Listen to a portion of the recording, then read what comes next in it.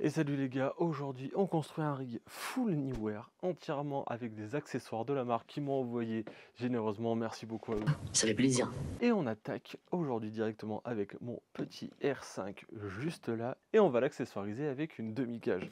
De manière générale, j'utilise pas ou très peu de demi-cage, je crois que c'est la deuxième fois genre que je m'en sers. Euh, J'aime bien les cages complètes, ça me dérange pas spécialement euh, le côté métallique sur la poignée ici. Mais bon, pour une fois je me suis dit que ça changeait un peu et que peut-être ça améliorerait éventuellement l'ergonomie, même si forcément ça nous enlève des pas de vis et donc ça euh, diminue le potentiel d'accessoirisation. Ce qui est cool avec celle-là, c'est que du coup elle est plus petite, elle est relativement légère. Dessous, ici, on a un petit tool et sur le côté, on a un insert qui va venir se glisser sur la partie ici où on passe d'habitude le dragon et ça, c'est stylé et ça, ça fait plaisir. Alors déjà, on va venir dévisser cette petite partie là pour la rendre mobile et pour que ça s'insère parfaitement dessus. Ensuite, on attrape le petit R5, on le retourne, on place la vis et on vient attacher la cage directement dessus. Et ça, c'est toujours un grand moment. Oh putain, je suis trop fort aujourd'hui. Hop, on n'oublie pas de réinsérer cette petite partie dans le passant de la sangle pour solidariser encore un petit peu plus l'ensemble. On n'oublie pas de remettre la petite clé en dessous, ça peut toujours servir. Et on enchaîne par les poignées. Alors on a, tac, on a une petite poignée latérale juste là avec un colchou sur le dessus et deux petits pas de vis pour l'accessoiriser. C'est une poignée ambidextre donc avec les vis ici on peut la passer d'un côté ou de l'autre, on peut la mettre à gauche ou à droite. Moi je la mets à gauche parce que encore une fois euh, pourquoi la mettre à droite alors qu'on a une poignée ergonomique avec tous les accès faciles au bouton? Ça après les gars vous faites comme vous voulez mais moi je trouve que c'est un peu une hérésie.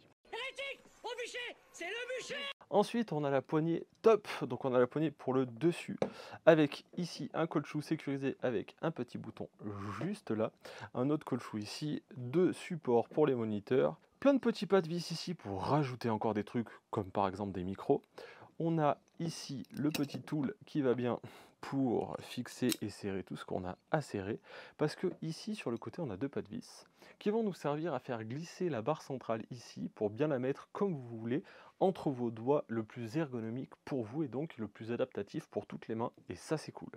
Dernière petite chose que je trouve chouette, alors là je l'ai trop serré, du coup on prend le tool, et là on dessert cette poignée, tac, ici on va pouvoir venir la dévisser. Et une fois qu'elle est suffisamment dévissée, on va pouvoir la faire tourner comme on veut sur l'axe. C'est-à-dire que vous allez pouvoir faire des plans avec la poignée perpendiculaire ou parallèle au boîtier. Et ça, en vrai, ça c'est quand même plutôt cool. Et on va attaquer par la poignée du dessus. On l'attrape, tac, on fait glisser, on serre, et c'est pas plus compliqué que ça parce que sur le dessus de la cage, il y a déjà un rail NATO d'intégrer. Alors que sur le côté, là on va mettre la poignée, j'ai rajouté un petit rail NATO qui était déjà fourni avec la poignée. Ce qui n'est pas chez toutes les marques, et ça, ça fait plaisir. Donc là sur le côté, hop, on vient, on pousse dirty sortie, on glisse et on tourne et on a déjà petit, euh, petit boîtier qui a déjà un peu de la gueule. Suite à ça, il faut commencer par euh, l'optique. On va peut-être mettre une petite optique. Alors vu qu'on fait un rig de cochon, on prend une optique de cochon. Pim, 70 200 8 stabilisé. Et là déjà on a un truc, euh, un truc costaud quoi. Bon, sur le principe du rig, ce qu'on va accessoiriser maintenant c'est ici le dessous. Le dessous c'est pareil, il y a déjà un rail NATO d'intégrer. Donc avec l'accessoire que je vous présente après, normalement il y a une plate qui est vendue avec. Moi j'en ai pas besoin, ça vire toujours un peu de poids parce que là le rig il va être, ça va être quelque chose de costaud quand même. Tac. Donc ensuite on va voir cet accessoire là. Donc cet accessoire là c'est un plateau de dégagement rapide avec deux trous pour les rods, pour les tubes. Et donc à partir de là on va pouvoir tout accessoiriser. Sur le dessus il y a une partie avec des pas de vis sous le dessous pardon. Et surtout un arc à suisse. Donc c'est à dire qu'avec tout le rig tu vas pouvoir le remettre sur un trépied facilement ou l'utiliser en rig main. Le tout en 4 secondes. Et ça ça fait plaisir. Donc là on le prend on le glisse dessous. Et derrière, on a un petit bouton pour le sécuriser avec un petit levier pour le serrer convenablement. Une fois qu'on a mis ça, étape d'après, c'est mettre les rods. Donc là, on a deux petits tubes en carbone plutôt cool, de toujours de la marque Newer. Tout sera euh, de chez Newer dans cette vidéo, hormis objectif et boîtier. Tac Et là, on rentre, on laisse dépasser un peu dessous, un peu derrière. Tac, comme ça pour les mettre au même niveau, quelque chose d'à peu près comme ça. Tac, j'avais pas mis assez derrière. Je pense que là, on sera pas mal. Donc, ce qui nous donne ceci. Les rods juste là, sous le boîtier. Et là, il commence à tenir. Là, on commence à avoir quelque chose d'intéressant. Donc là, deux solutions. Soit on continue à s'occuper du dessous, soit on met un petit moniteur sur le dessus. Moi, je vais attaquer le moniteur. On va pas se le cacher, j'adore. Donc, le moniteur Newear sera vendu avec une rotule, mais moi je vous conseille quand même d'utiliser ce genre de rotule qui est un peu plus adapté, plus low profile entre guillemets, mais surtout plus qualitatif. Tac, donc là, on va mettre. Moi, je me suis trompé de sens. Ah, tac, tac. Je remonte à l'envers, quel connard. Tac. Donc là, tac. Hop, la rotule sur le dessus. Tac. Et là, on sort notre petit moniteur F400 Pro de chez Neewer. Petit moniteur pas tactile, qui marche avec des boutons, mais franchement qui marche plutôt bien avec des bords relativement fins. Il est petit, compact, c'est un 6 pouces. Et surtout, et surtout, on va pouvoir y mettre des LPE6 pour les utilisateurs de Canon ou des NPF pour ceux qui n'utilisent pas Canon. Et là, on commence déjà à avoir un truc plutôt stylé, plutôt sympa. Et ça, ça fait plaisir. Tac, on va y mettre son petit pare-soleil qui est vendu avec. Tac, tac, tac. Qu'on vient juste scratcher dessus. Hop là. Et là, on est pas mal. Ensuite, il va falloir réfléchir. On a une optique longue, donc il va falloir la soutenir. Donc on va y mettre ce genre de support en Y où on va pouvoir adapter la hauteur en fonction de l'optique. Celui-là, il est un peu long, donc quand je vais le mettre, le boîtier va pas tenir tout seul. C'est pour ça que j'ai mis la poignée en premier. Donc là, on va faire glisser dedans. Tac. Et dès qu'on arrive à l'endroit qu'on veut soutenir, on va dire par exemple quelque part par là, on va loquer, bloquer. Et après, on va resserrer. Pas trop fort, c'est du carbone. Ça va péter Ça sert à rien, c'est une fois que ça glisse plus. Hop, on est bon. Dessous, on n'a pas fini. Parce que on aime avoir des mises au point qui sont propres, donc on va y rajouter un petit follow focus très très cool. Tac, on fait glisser là et on vient le poser directement sur l'écran de l'optique. Ici, l'écran de l'optique, ils sont suffisamment importants. Sinon, si vos crans de bague ne sont pas adaptés, vous pouvez rajouter un collier qui est déjà vendu avec, qui s'adapte à toutes les optiques, ou quasiment toutes les optiques en tout cas. Et là, on peut faire sa petite mise au point tranquillement Tac, juste en tournant. Hop, là on est pas mal. Donc on a follow focus, le petit Y, la poignée. L'autre côté, c'est à nu, mais on a accès à tous les boutons et en termes d'ergonomie, on est plutôt pas mal. On a le petit moniteur qu'on va câbler après. On vérifie juste une chose, la trappe s'ouvre bien et ça tombe bien. Parce que pour la suite, on va l'intégrer tout de suite, une fausse batterie. Donc c'est pas une batterie LPE6 qu'on va avoir dedans, c'est une fausse LPE6 qu'on va rentrer là. Hop, on fait sortir le câble par la petite trappe prévue à cet effet. Et ça, comme ça, c'est en attente et tout à l'heure, on pourra s'en servir. Tant qu'on est sur le petit objectif, on va s'occuper de l'avant de l'optique. Donc, on va y mettre une petite Matbox Mini.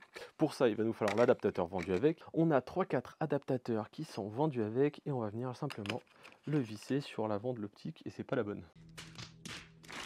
Pas du tout. On va venir la visser sur l'avant de l'optique. Encore une fois, pas la peine de forcer. Dès que ça sert un peu, on arrête. Et dessus, ici, là, on a un petit taquet pour ouvrir et fermer qu'on va venir glisser tac, sur l'avant de la matbox et qu'on va venir serré. Et là, poum, une petite matbox qui va bien. Donc là, on commence à avoir un, truc un peu de cochon. Une fois qu'on en est là, on pourrait se dire que devant, c'est terminé. Parce que devant, moi, ce que j'aimerais bien, c'est y mettre quelques filtres. Mais ça me saoule de les changer. Du coup, on va partir sur la gamme de filtres aimantés de chez Newer. Donc déjà, on va mettre un adaptateur. Parce que moi, j'ai des filtres en 80. Et là, c'est un 77. Donc on va chercher. Hop, ici, on a un adaptateur 77-82 qu'on va venir fixer sur l'avant. On a dit que c'était aimanté, donc il va nous falloir le support aimanté en 82 qu'on va venir fixer, t'as compris, sur l'avant. Tac. Et ensuite, aujourd'hui, il fait soleil, mais pas trop, donc on va y mettre un petit ND8.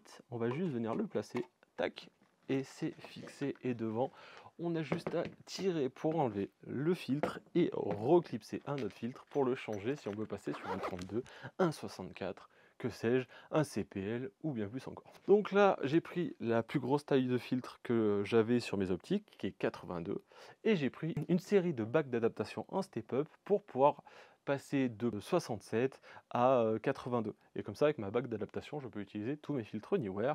Et ça, ça fait plaisir. Donc là, on est pas mal. On a Matbox, Follow Focus, support en Y parce que l'objectif est lourd, petite poignée ergonomique sur le côté, petite poignée sur le dessus, moniteur et adaptateur avec une fausse LPE6.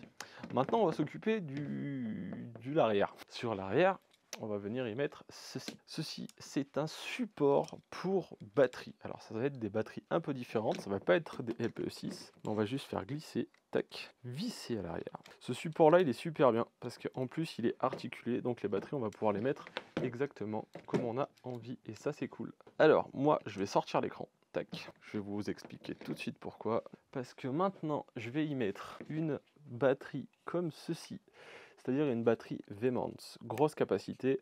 C'est un peu plus lourd, mais au moins c'est plein de supports. C'est en 8 volts, en 12 volts, en D-tape, c'est en USB A et en USB-C. Et surtout, ça va être hyper pratique. Là, on lève, tac, on met, on clipse, on rebascule. Sur le côté ici, on a la petite prise D-tape qui va avec notre fausse batterie Canon. Et donc maintenant, j'ai mon boîtier qui est alimenté avec une énorme batterie.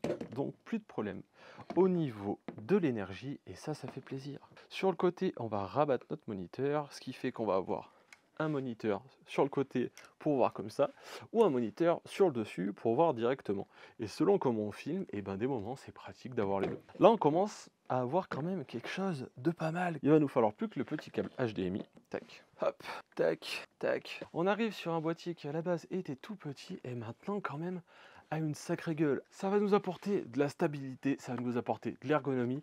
On va pouvoir y mettre ici par exemple des micros.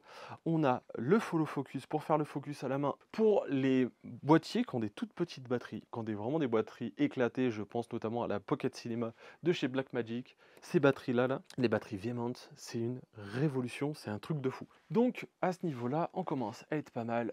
Donc on est comme ça. Alors ouais, avec cette optique, ça fait vraiment un rig de porcinet.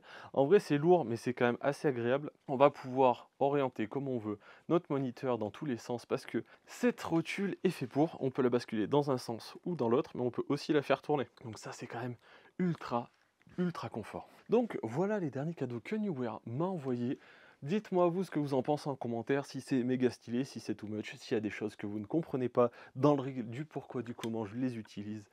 N'hésitez pas, j'y répondrai comme toujours avec plaisir. Je vous mets la liste de l'entièreté de tout ce que j'ai utilisé dans ce rig-là en description et j'en ai pour 5 minutes.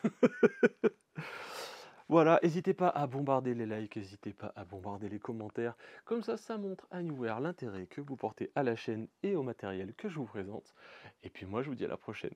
Ciao